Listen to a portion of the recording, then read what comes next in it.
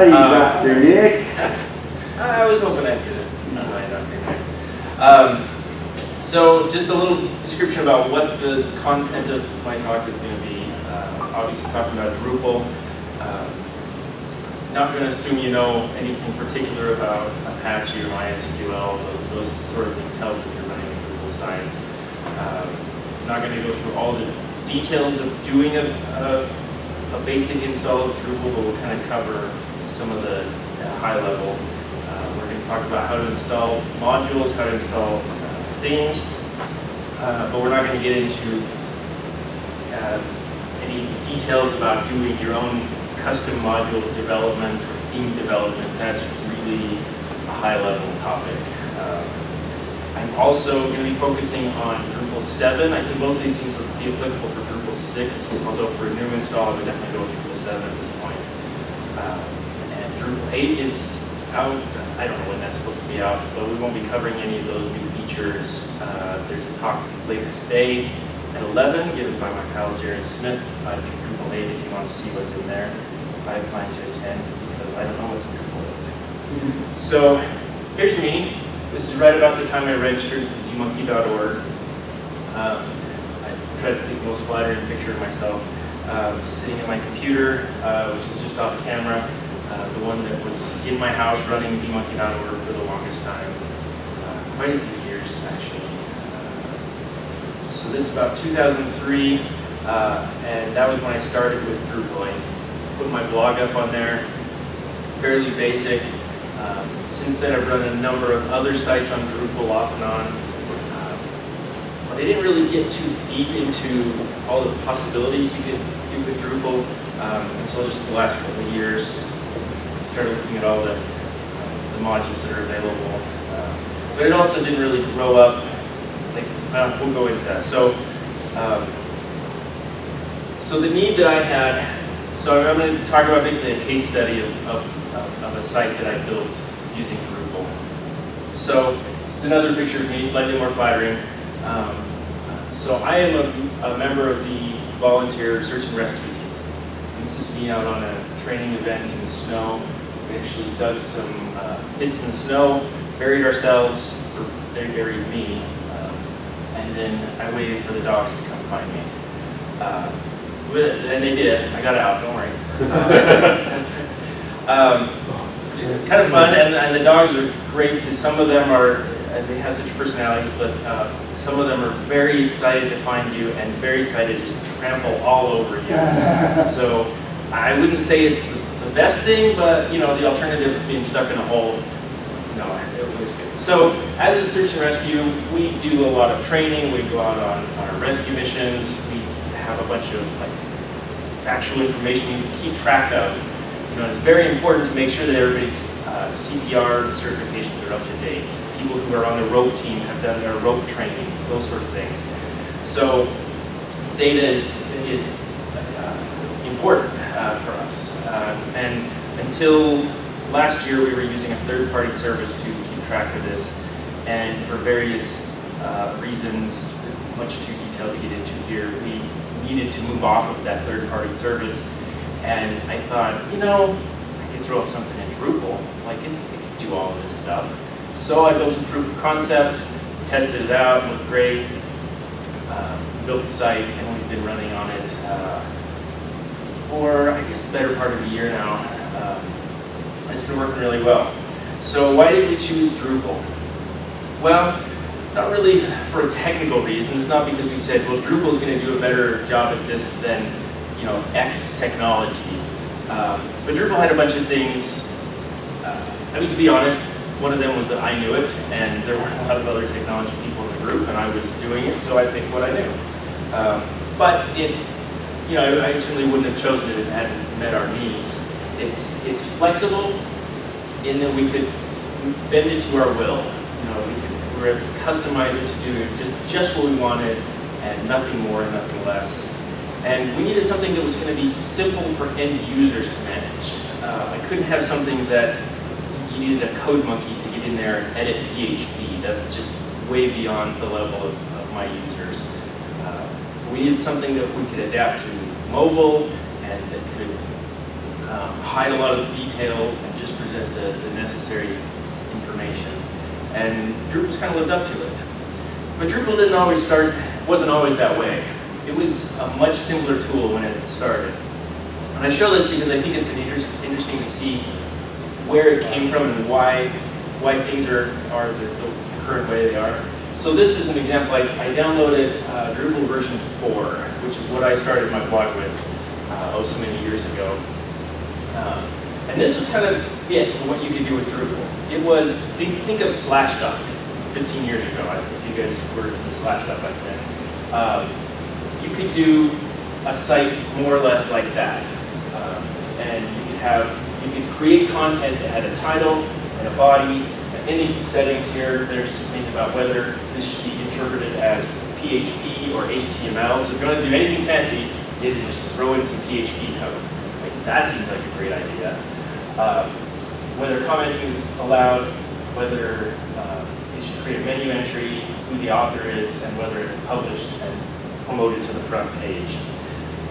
And that was kind of it. And, and for running a blog, certainly it was sufficient. Um, just to show you the, this is the, when you're editing the story, so in that previous slide here, uh, this is what they call a story. Uh, there was also a static page which didn't have like comments. And, uh, and you could go in and edit this story type. Really all you can do is just give an explanation of what the, the, the story was, a minimum number of words, and whether it should be published and whether it should go to a moderation that was kind of it. Not a lot of flexibility there. So since then and until now, they've added a, bunch of new things with Drupal that make it really great. Uh, custom field types. So in the example, we had some text fields, had some, some options, um, and that was kind of it. Uh, you couldn't create your own field type. So they've added the ability to create modules that you can use to define these field types. So a date, you know, you can have a little date picker and an email address. So you can do an email address as a string, obviously. You can store a date as a string, but a date type, an email type, will do validation on that and make sure that the email address is parsable, uh, make sure that the date matches a certain format. Uh, you know, if you want long dates, if you want European dates, uh, you want a timestamp, those sorts of things. So all sorts of fields are available to throw in there. You can create your own custom content type. So that story we had, instead of just having a title and a body, you can throw in your own fields. Uh, you know, the email address of the person who posted it, a, a little image to post along with it. Instead of having to put the image into the HTML itself, you can attach the image directly and have the formatting be done automatically. And then uh, they added, well, they've, they've had taxonomies, but they've increased the power of them. Um, so a taxonomy, uh, it's kind of, it took me a while to wrap my head around, but it's basically just a list of things. Uh, so they have, uh, you have a vocabulary, which is a list of terms. So, for example, if we wanted to, we were going to create a website that was keeping track of our, our book collection, our library. Um, we might define a vocabulary that was like the genre. So we could have our terms would be science fiction and uh, romance and suspense and those sorts of things. And then we could create another taxonomy that's like the cover type. Could have hardback, softback, leatherbound, uh, those sorts of things. Um, so between all those things, you actually have a lot of um, power. So this is a screenshot of um, of my search and rescue site. And you can see, so this, this is a headlamp. So this is just an object that's in there. And you can see that it's quite a bit different than that other Drupal site. You know, I've, got the, I customized the menu over here, I've added my own entries. Um, you know, the, the name shows up at the top. I've got all these different fields. Um, the user is actually pulling from another field. You can define the users. Um, these are a date field. This is a taxonomy field. Um, and then the layout can be customized. I'll show you the, the editing part of it.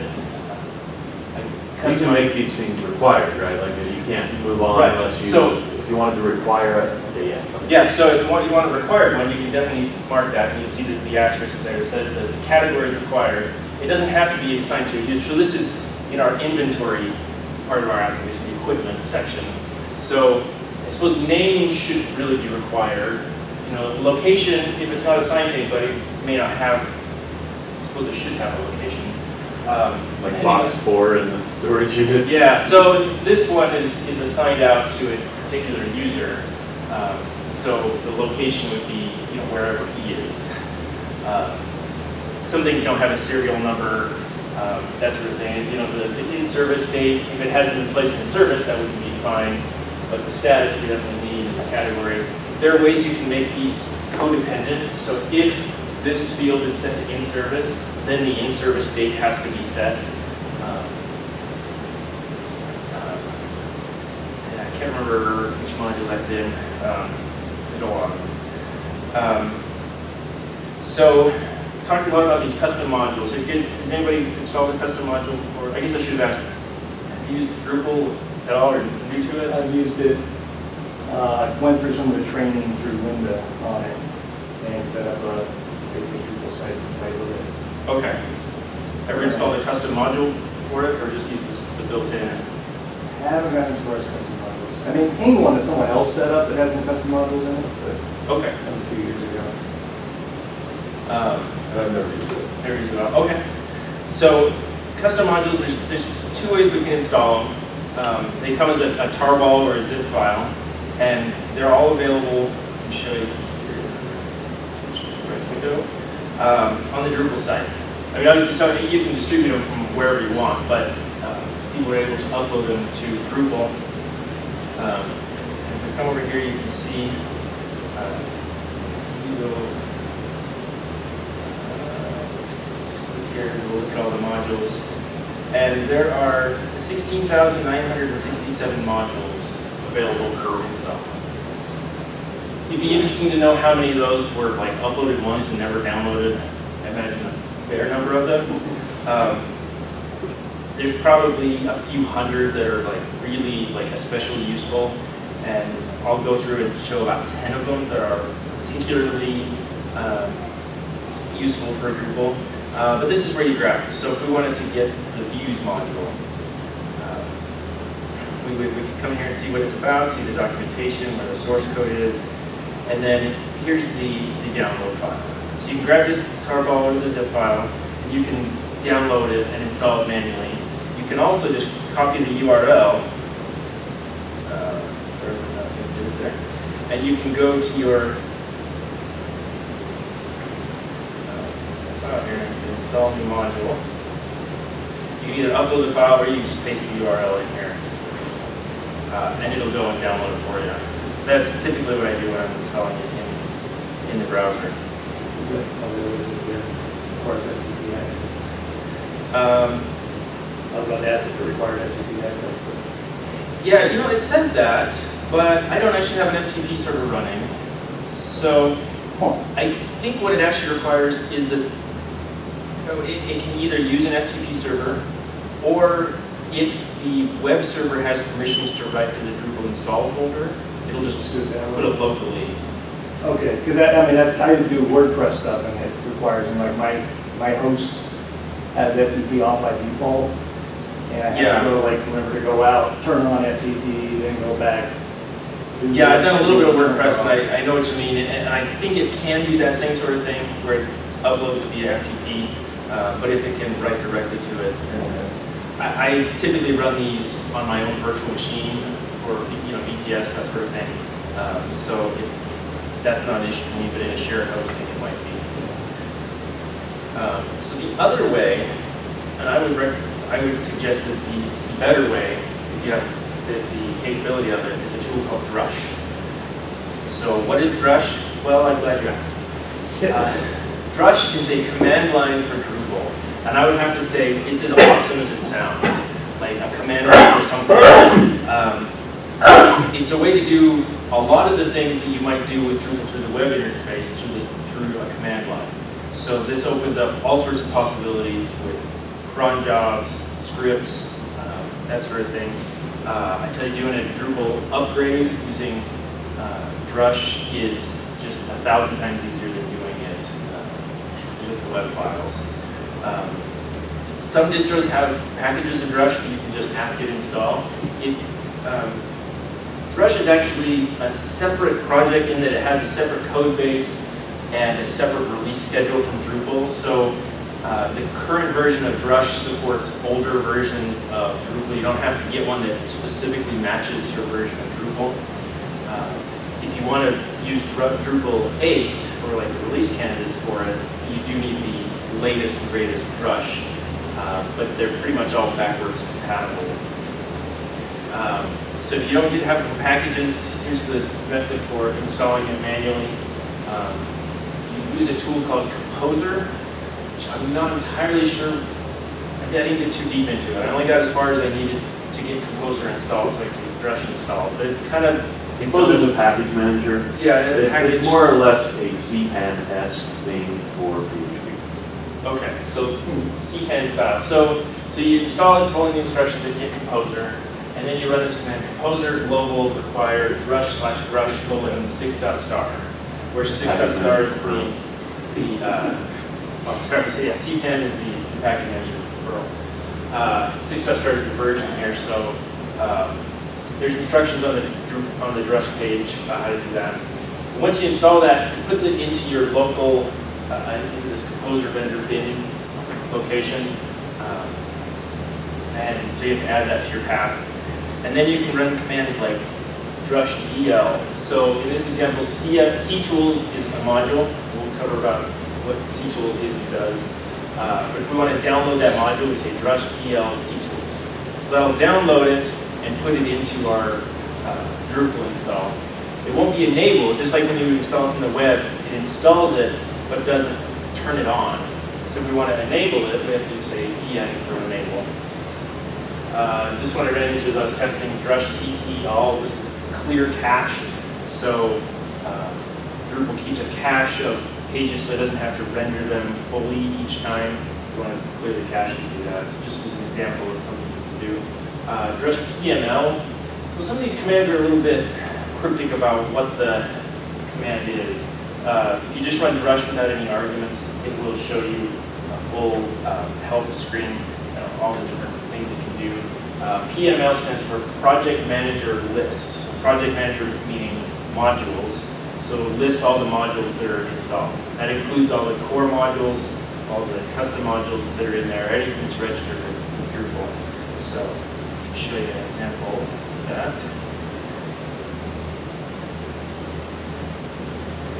So here are all the modules that are installed uh, in this version. So here, uh, can you see that?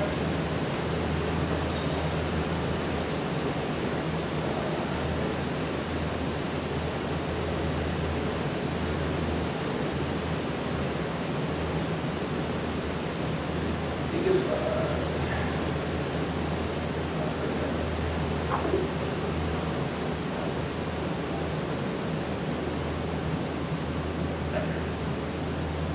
Um, So you can see I've got some some things called panels that are installed, we'll talk about panels, got views installed. uh, But everything is in here. So if we wanted to do a Drush update, we could do that, and this would, this would update our Drupal install from 7.36 to 7.37, and it will upgrade our iCal module. Uh, That's a little dangerous to do right during a presentation, so I'm gonna skip it. But typically, it is pretty safe. Um, And I would say I really have never had trouble with it, not like I have doing updates uh, manually. So I I strongly recommend it. You know, it, you do it wrong, you're gonna take it out. Um, You would want to make a backup first. Um, So so there's no way to do a a clean downgrade.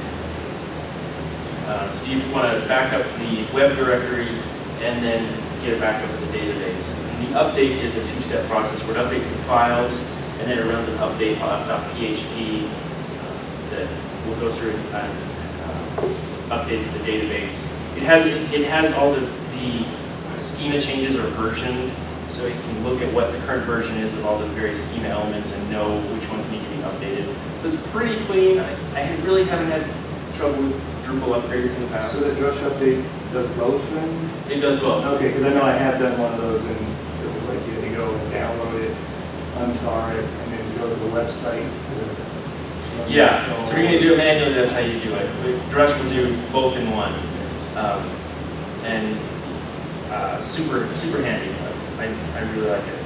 So these are the modules, as I was going through looking at which ones I would recommend that you get to know as you're trying to build your, your site with Drupal, uh, these are the ones that, that I came up with. Um, So uh, C-Tools is the Chaos Tools Suite. Um, It's really not one, so I, I kind of split these into two. So the ones on the left-hand side here are things that enable a lot of extra functionality for developers. So modules on the right-hand side here use these modules underneath. You probably won't interact directly with these ones a lot, but this Chaos Tools allows a bunch of additional features, um, such as the, the panels, um, which allows you to override uh, the default pages in, in Drupal, so you can create your own layouts.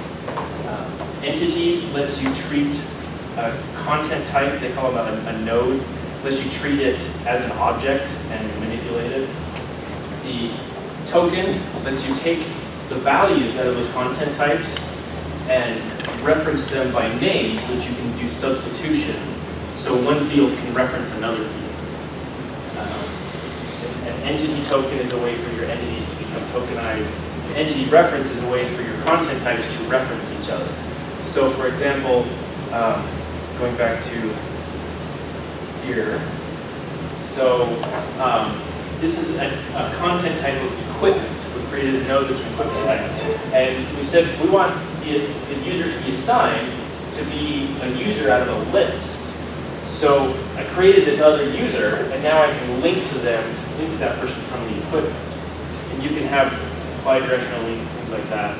Um, so that's what the entity reference. It also is the way that we reference the taxonomy. Uh, really gives you that additional power. So that's those ones that are kind of back-end stuff. On the front end, um, these are the ones that I really like. So um, panels is an additional tool for, for doing your, your layout. Um, Path Auto is, um, by default, Drupal will update your path based on all the parameters that you're looking at. If you want, if you want to have, so you, you can override that name and say this page has this name and it's this you know pretty one that you know user slash um, right? So you can have a page that has that name. Um, but if you want those names to be generated automatically based on the content of that page, then you need the path auto. So it uses these tokens to read out of the entities to put into the path and automatically update. So you can see how these modules link to each other. Um, Views is a way to write your own queries and come up with um, your own lists of things. By default, um, Drupal will display things kind of in a just a running fashion where you, you post, because it goes back to that, that history of it being a uh, kind of a like a news website where you, you post a story and then you post another story and they, they, they- as you keep moving them up, they move down and then they move off the page to the next page. So that's the default way that Drupal will display things. So if you want to create your own queries to display in your own way, you can use. Uh, meta tags is, if you're familiar with the Facebook Open Graph or Twitter cards, uh, if you want to manipulate the meta tags of a page so that you can add extra meta info.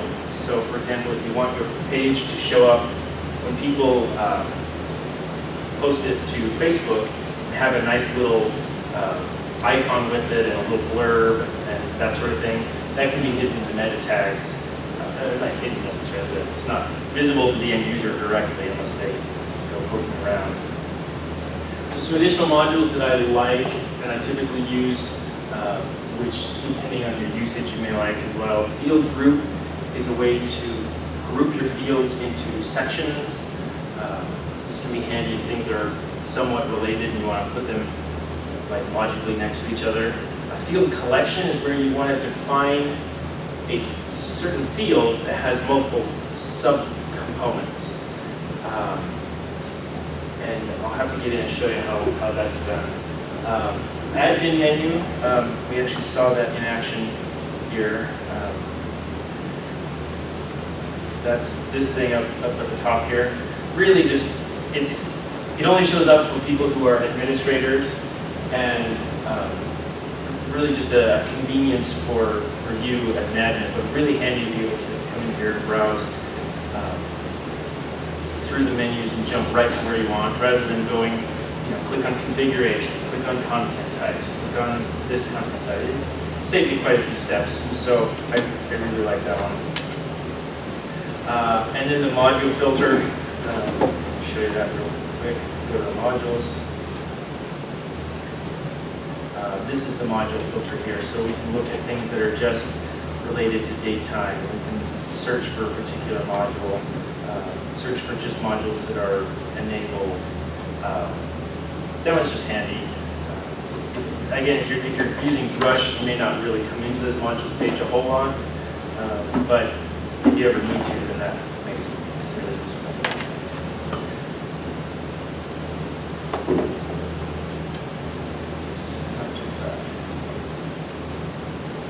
All right, so then when we're getting ready to pretty it up, the default themes, they're okay, um, but we want to be able to create our own. Um, we can use those. The nice thing is themes are really just modules that instead of tying into the data hooks on the backside, they're tying into the presentation hooks on the front side. So we install them the same way. You grab them from the same locations. Uh, you can browse through them on the, on the website. Hop over here and look at.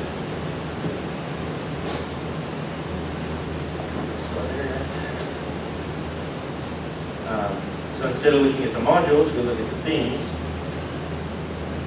Uh, and they're just listed here the same way. So uh, Zen is a very popular one. Uh, Zen is actually a, uh, an extendable theme. So some themes are meant to be used as is.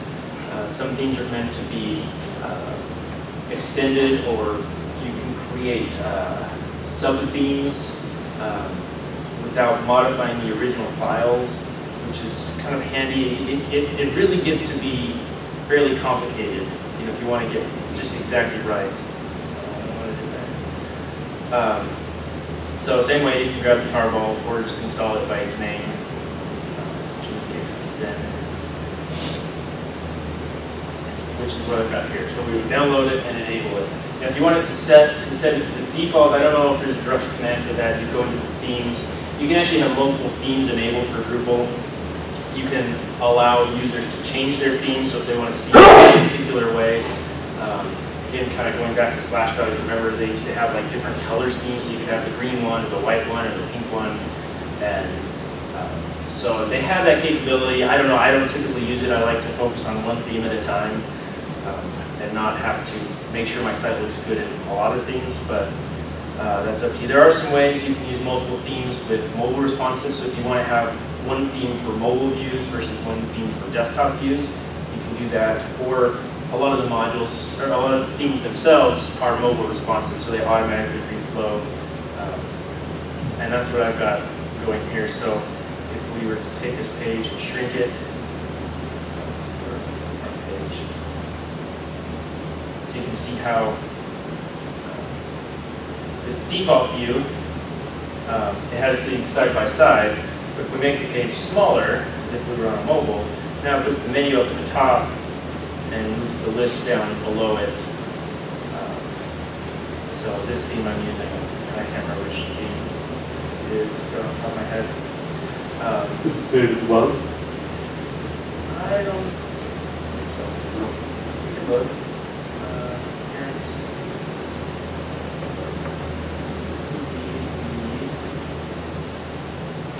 Oh, you know what I did? I created a, actually using a sub-theme of. Yeah. Sorry. Derailed. Yeah, now I'm getting lost. Uh, I'm pretty sure there's actually a sub-theme that I enabled via Drush, and I don't know why I'm not seeing it here. So, um, it's time for a live demo. Everybody loves live demos, right? Except the presenter. Um, So I'm gonna go ahead and log out of my page and show you the default page here. So, uh, Dru- Dru- Drupal has a lot of flexibility in permissions and uh, user, you know, granting access to things. So here what I've done is I've set the default page to be one that requires a login. So when you try to go to the default page, pops up the login page for you. And I've got my password saved convenience. We'll go ahead and log in, and then it'll take us to that default page. So this is actually a, a copy of my real database where you can see I've scrubbed the, the, the personal information out. Uh, that's not really their email addresses, if that's what you were thinking. Um, so uh, this is a view. So I wanted to have a list of, so each of these things here is, uh, is a, a user. I created a content type called member, and I went in and defined all these fields. And then I wanted just a printable list that people could um, see everybody, and then um, it actually does print out. How did I do that? There's a way to print it out. I can't remember off the top of my head. Um, so this is a view, and we'll go in and look at the details of that. Um, and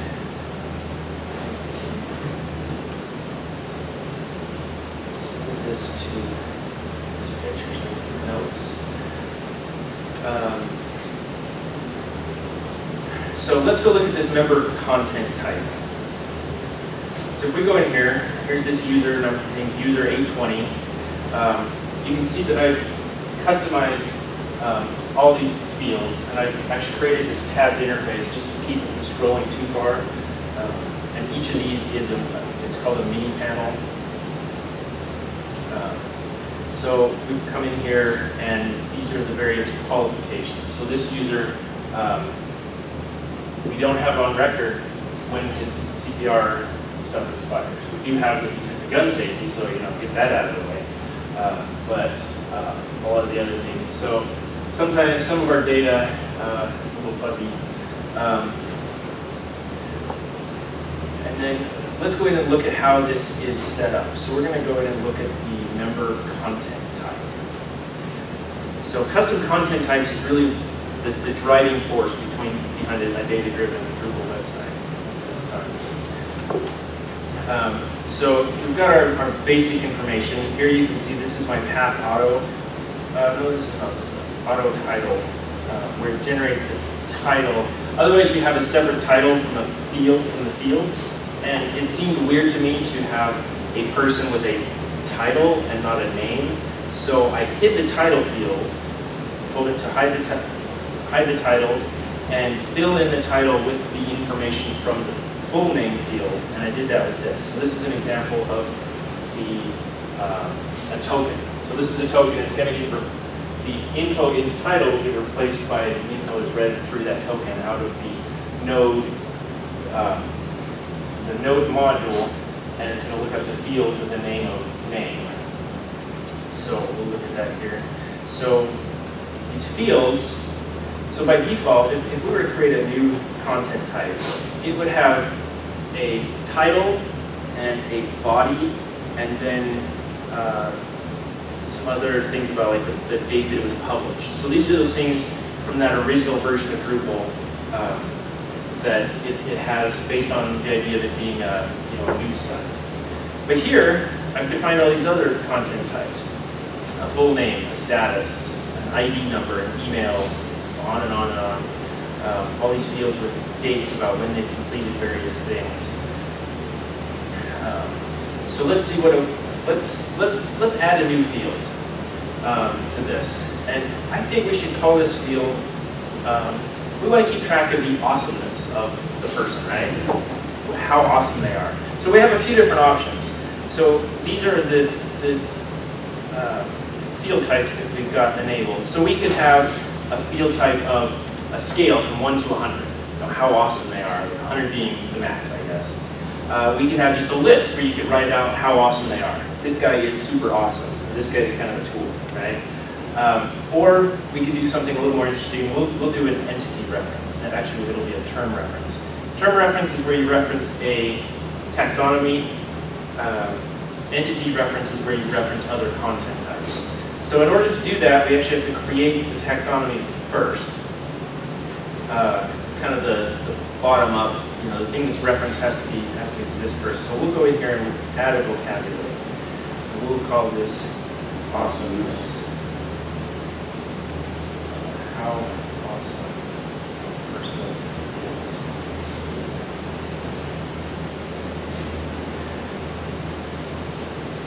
So now we've got this thing. So we're going to add terms to it. So the first term, so the name is going to be the name that would show up in your drop-down list. Description is just a, a, a, a, thing for the administrator to know what, what this one means. Uh, and so in some contexts, description is a little bit redundant. So in this case, we'll say, uh, start out with not awesome.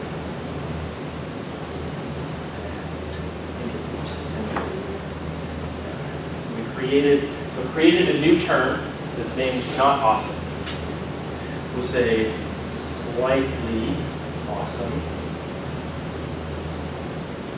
Uh, pretty awesome. Really awesome. And then for our maximum, I am Malcolm. Captain Mal. So, um, uh, I suppose an example of, well, so what we could actually do is we can manage, we could come in here and manage these fields on the term. Say we wanted those, those, those printable things, so they have a name. Maybe we wanted to assign a numeric value to them so we know how they rank next to each other. We can add a new field to this, kind of get in here. Uh, So um, I'll skip past doing that, but you can imagine how those two things now are combined with each other. Yeah. Anytime you reference that term, you can reference any field that's on there. So you can, I mean, sky's the limit, the, the date that the awesomeness was set. So if we go back to our content type of our member,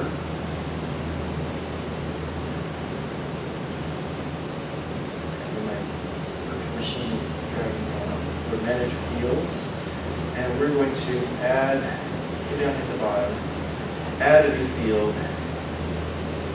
And We're going to say that's going to be a term reference.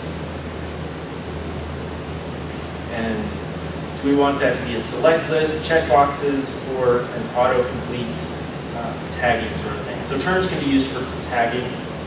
You can actually set them up so that they can, so when somebody's creating a new content type, they can automatically create new tags. That's really handy. So we'll do a select list. And then we come down and we say save. So now that field has been added. It's going to ask, ask us which one we want to reference, and it's awesomeness. And any help text we want to display on the page. Um,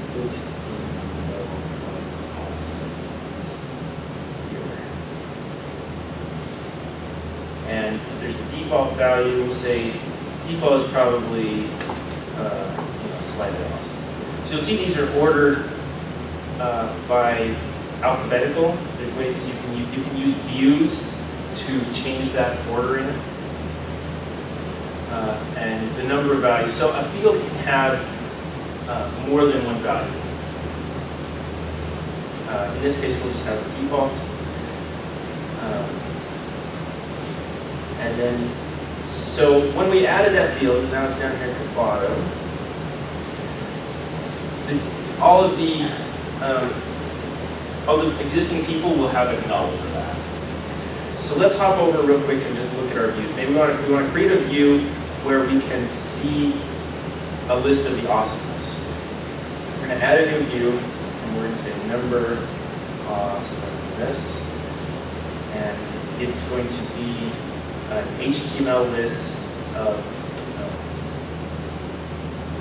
show. Here we go. So show is going to be a type, we're going to show content of type member, and we want uh, a table, a table of fields. So we're going to create that. And I don't know, I'm rushing through this real quick here. Oh, I think I already created the view while I was testing. So let's go in and just look at what we did.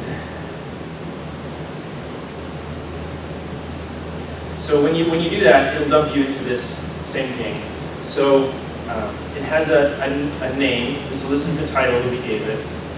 This is the type table. You can go in and modify that a little, and you can change to any of the different formatters you want. You can select which fields you want to display. If I want to um, show different fields off of the member, so here's their awesomeness. I want to display their awesomeness.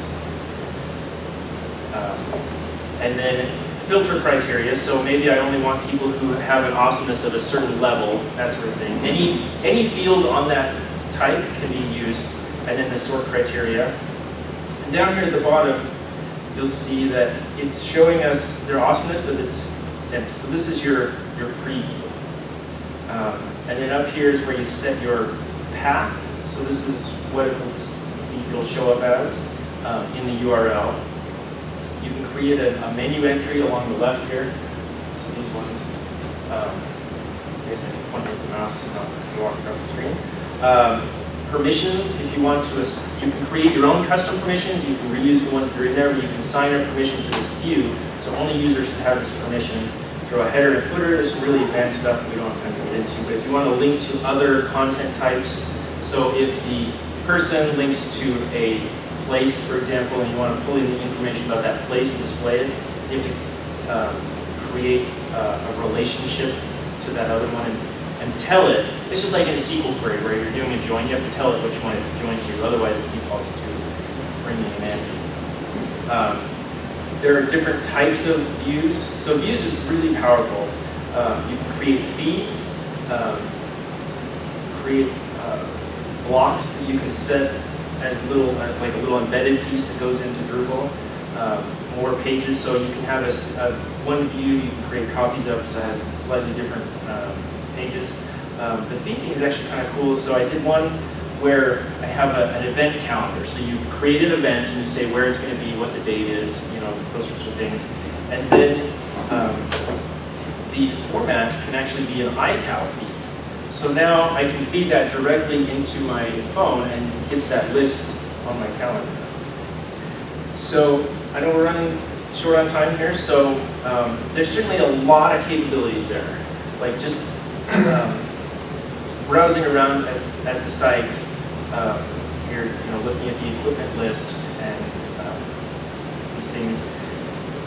Um, there's you know there's a reporting. There's just an immense amount of capabilities there.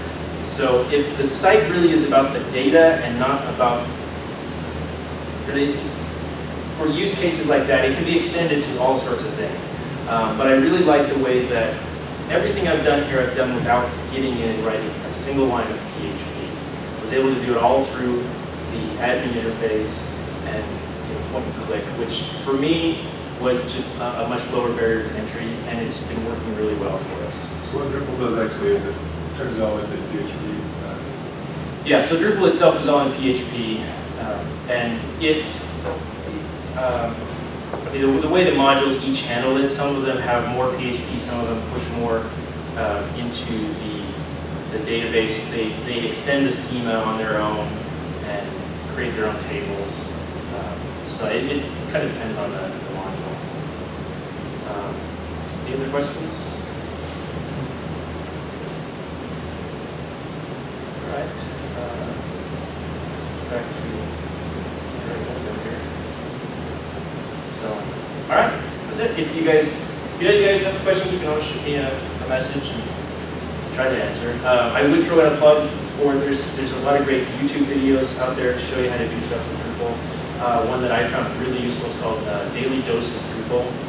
Um, it's probably oh, there's hundreds of them literally, and he goes into a lot of the details on all these things about here's how you create this kind of view. If you want to create a view with this kind of thing, here's how we do it. He walks through um, it's pretty polished, so I would recommend that one. There's a lot of other ones out there as well. Want to talk about seven versus eight?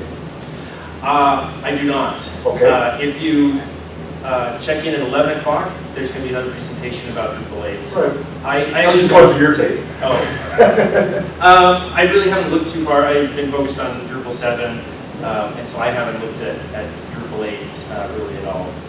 I, I don't know what much. So I'm going to be Do you use attending Drupal too? Pardon me? Do you use it? Yes? Uh, there are actually, I was going to talk about, there are actually a lot of uh, big websites that are using Drupal. I was looking around at one of the prom- prominent ones, whitehouse.gov. Um, You hit the prediction. Um, but there's a, bunch of other ones. Obviously, the Drupal site is running Drupal as well. And like all those things where it's listing all those modules out and everything, it's all done underneath with Drupal. So quite powerful. Obviously, it's a very high traffic site. All right? Thank you.